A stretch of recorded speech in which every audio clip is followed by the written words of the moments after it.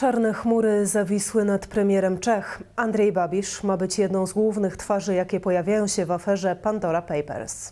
Pandora Papers to wyciek 12 milionów dokumentów dotyczących ukrytych majątków, unikania opodatkowania oraz prania brudnych pieniędzy przez bogate i wpływowe osoby na świecie. Na liście znaleźli się czołowi przywódcy, miliarderzy i ponad 300 polityków z 90 krajów świata. Dane pochodziły z 14 firm świadczących usługi finansowe. W śledztwie wzięło udział ponad 600 dziennikarzy, a dokumenty analizowało ponad 140 organizacji związanych z mediami. Teraz ujawniono, że z rajów podatkowych korzystali m.in.